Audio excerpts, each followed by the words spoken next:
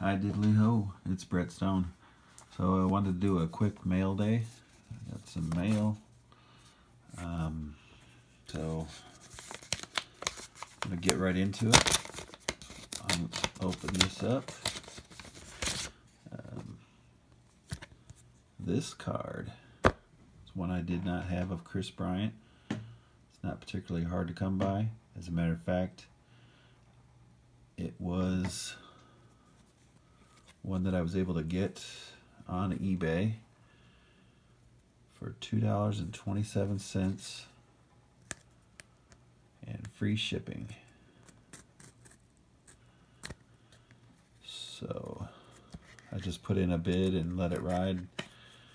Um, and it was one I didn't necessarily think I'd win because I didn't put much a very high bid in.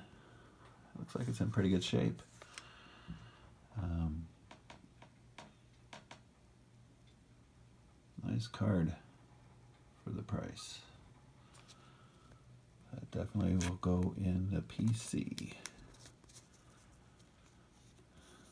Alright, and then real quickly, I'm going to show you one more thing today. Besides the Bill Buckner in the background. If you don't know, I'm an Eagles fan. Definitely like this guy. You really can't see it. I guess maybe you can if I do that. Reggie White.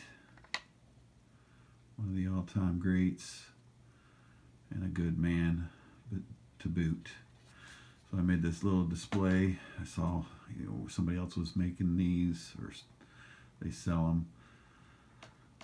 Um, it's simply made out of a card holder and I display it up on a shelf on the wall in this room here but I thought that was kind of a little neat little thing. Got that gumball helmet in there.